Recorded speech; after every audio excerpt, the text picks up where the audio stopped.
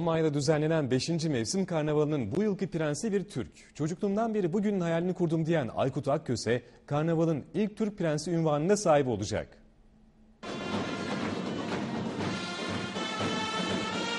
Almanya'da 5. mevsim olarak adlandırılan karnavalın hazırlıkları tüm hızıyla sürüyor. Yılki karnavalda bir ilke imza atıldı ve Bekum'da yaşayan Aykut Akköse karnaval prensliğine getirildi. İlk kez bir türkü prens seçenlerse Akköse'nin 5 yıldır üyesi bulunduğu Bekum Karnaval topluluğu oldu.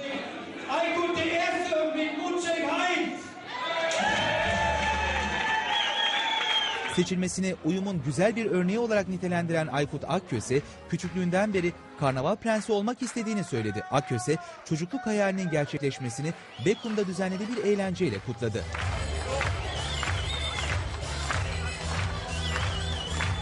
Çok sayıda kişinin katıldığı gecede taç giyip pelerin takan Akköse, karnaval kutlamaların doruğa ulaştığı Rosenmontag olarak bilinen Pembe Pazartesi gününe kadar kentteki eğlencelerin aranılan ismi olacak.